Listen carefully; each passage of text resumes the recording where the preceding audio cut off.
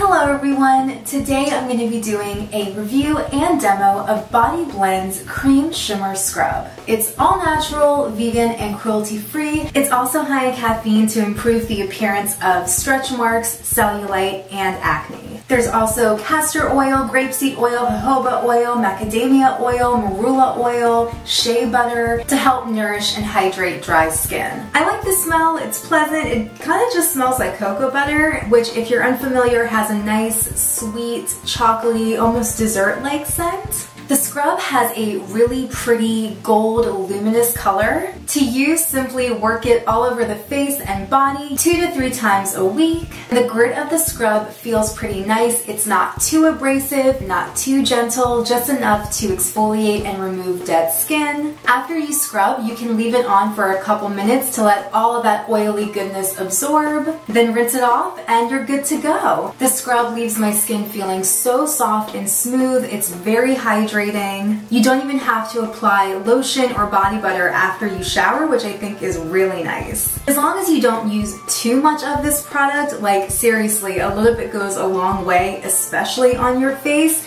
you should be okay. I also like the packaging. I think this squeeze pouch is cute and it doesn't take up much space in the shower. The only thing I don't like about the scrub is the shimmer aspect. While the product itself looks pretty, I don't particularly enjoy being covered in micro glitter. Maybe if you were going out or going on a date, you're at the beach, you're gonna go to a photo shoot and you kind of want that really dewy, luminous, intense glow. But for every day, me personally, I could do without. The glitter does wear off eventually, but just keep that in mind. Thank you so much for watching and thank you to Body Blendz. Please give this video a thumbs up if you enjoyed it and found it helpful and subscribe to my channel Tara for Your Wellness for more videos like this and other fun things. Until next time, please take care and stay well.